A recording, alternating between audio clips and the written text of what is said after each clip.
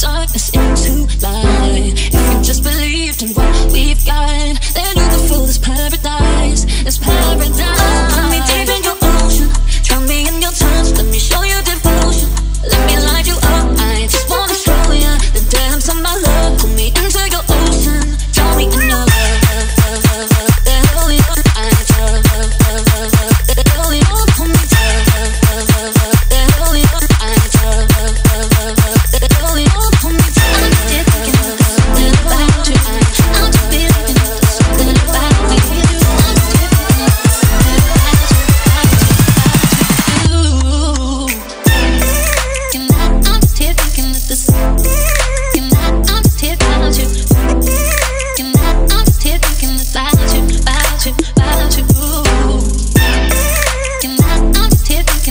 Yeah.